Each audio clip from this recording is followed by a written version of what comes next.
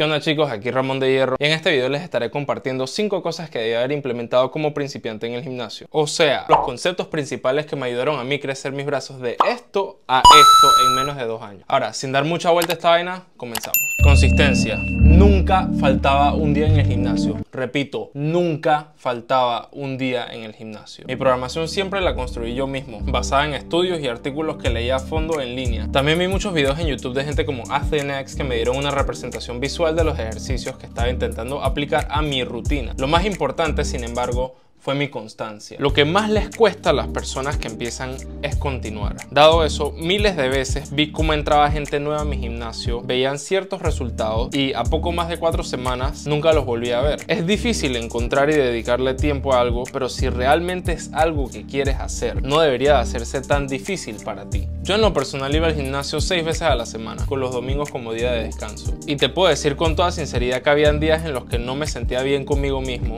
tenía dolor de cabeza, me daba pereza, no veía resultados, etc. Y con toda confianza puedo decir que el primer mes que empecé a entrenar, pero entrenar de verdad. Fue el más difícil. Ahora, dicho esto, es importante seguir tu rutina, seguir yendo al gimnasio y estar claro con tu visión y forjar tu consistencia. 8 a 12 repeticiones. Una de las cosas que más me ayudó como principiante fue realmente adaptar la sobrecarga progresiva en mis entrenamientos. Hay muchas maneras de hacer esto, pero como principiante que no conocía lo que era el verdadero fallo, este concepto sencillo me ayudó a crecer bastante en los primeros meses. 3 a 4 series de 8 a 12 repeticiones. Lo escuchamos en todos lados miles de veces. El concepto de 8 a 12 repeticiones fue muy beneficioso para mí ya que es un buen rango para la fuerza e hipertrofia. Lo que hice para implementar la sobrecarga progresiva fue incrementar un rep por semana y cuando ya llegara a las 12 en un ejercicio en particular le subí el peso al ejercicio y procuraba poder hacer por lo menos 8 repeticiones nuevamente. Y esto fue aplicado a un peso al que yo consideraba llegar al fallo. Hoy en día me doy cuenta que realmente no estaba llegando al fallo necesariamente, sin embargo todavía era un peso que me costaba levantar, lo cual hacía que mis series fueran increíblemente efectivas. Cuando ya llegas a un punto intermediario o inclusive avanzado, verás que no siempre es efectivo hacer un rango de repeticiones o series específicos y tu entrenamiento cambiará, pero para alguien que es un principiante beginner, o sea, beginner, beginner, es una maravillosa manera de comenzar. Ejercicios. Existen muchos ejercicios excelentes para desarrollar los brazos, pero en mi caso los que realmente me ayudaron fueron solo unos clave. Bíceps. El curl predicador. Ahora, el predicador siempre fue uno de mis favoritos, ya que su posicionamiento permite un verdadero enfoque sin tener que preocuparse por estabilidad. Es un ejercicio controversial dado los videos que han circulado de culturistas sufriendo desgarres. Todo el mundo los ha visto, haciendo que este lo llame un ejercicio peligroso, pero la realidad es otra. Todos los ejercicios cargan cierto riesgo y este no es diferente. Sin embargo, mientras tengas un rango de repeticiones relativamente alto, lo practiques con buena forma, no debes de tener ningún problema, aparte del pump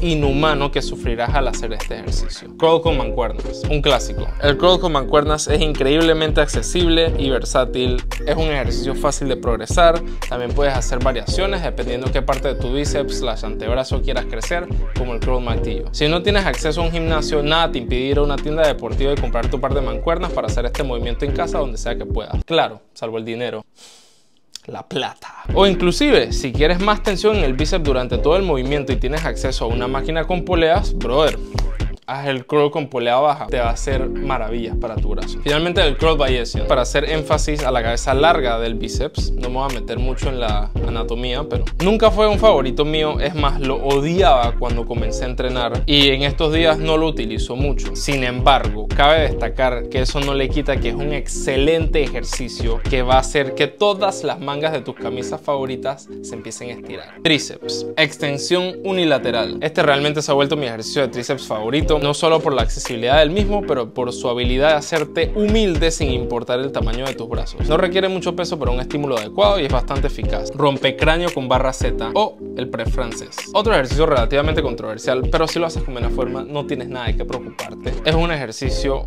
fácil de cargar con bastante, bastante peso y realmente despierta la fuerza bruta del tríceps al hacerlo. Todavía lo incluyo en mi rutina de brazos de hoy en día simplemente por lo eficaz que es y por lo mucho que me encanta hacerlo. A veces es difícil encontrar una banca si el gimnasio está muy lleno, pero no me impide a mí hacerlo. Extensión con polea alta. Este siempre lo dejo al final de mi rutina de tríceps para terminar de freír el músculo por completo. Peso moderado, full range of motion y al fallo, muy importante. Como un detalle extra me gusta hacerle super set o super serie con la extensión con polea alta invertida con mucho menos peso para terminar de quemar el tríceps. Esto le da énfasis a otra cabeza del tríceps y recibes un pump a lo largo del brazo. Créeme que si lo haces de esta forma te costará bastante mover los brazos al salir del gym. Antebrazos. Curl invertido con polea baja. Para mí solo existe un ejercicio que vas a necesitar en toda tu vida para crecer los antebrazos y ese es el curl invertido. En este caso lo estoy haciendo con polea baja para mejor tensión, pero otra alternativa que me gusta mucho es hacer el curl invertido con barra Z. Y la verdad es que no hay nada mejor que él. Intensidad sobre volumen. En mi caso, entrenar con más intensidad y menos volumen me ha resultado mucho más más beneficioso que entrenar con intensidad moderada y alto volumen. Entrenar con intensidad alta significa menos tiempo en el gimnasio, así que es más práctico y también te permite ver dónde verdaderamente están tus límites. Al saber dónde existen tus verdaderos límites, te permite tener una imagen clara de dónde estás en cuanto a tus objetivos y de la misma manera tener una imagen más clara hace que tus objetivos se vuelvan más alcanzables y factibles. Por lo general, dos, inclusive tres series al fallo o muy cerca del fallo por ejercicio por músculo es suficiente para el estímulo requerido para generar la hipertrofia. Suplementación y alimentación. No te voy a decir que compres todos los preentrenos, BCAAs, whey proteins o creatinas que tú veas en el mercado. No, en la mayoría de los casos, a menos que busques maximizar tus ganancias al 99.99999%, no vas a necesitar el 90% de los suplementos que existen. Son increíblemente caros y realmente obtendrás un mejor beneficio simplemente con una buena alimentación completa. Todos los cuerpos son distintos y tu caso va a diferir del mío y del resto de las personas. Pero Ramón, yo no tengo esas pesas y aplicaciones y que te dejan rastrear tus calorías. Yo no entiendo nada de eso. ¿Cómo puedo estar yo en un surplus calórico sin saberlo? Bueno, mi rey, simplemente te pesas regularmente y si estás notando progreso en el gimnasio, lo estás haciendo bien. Es así de sencillo. Si estás comiendo y no ves resultados, come un poco más. Si estás comiendo demasiado y has ganado más de lo esperado, come un poco menos. Y así vas tanteando hasta que eventualmente encuentres tu balance perfecto. Nada es de un día a otro, señores. Todo toma mucho tiempo, destreza y dedicación. No es para todos, pero quizás si empiezas ahora y realmente le metes mente, se podrá convertir en la realidad para ti. Si te gustó este video, por favor dale like y suscríbete. No te olvides de darle a la campanita para nunca perderte otro video mío. Comenta qué te pareció y si me faltó algo que piensas que vale la pena compartir. Sin nada más que decir, nos vemos la próxima.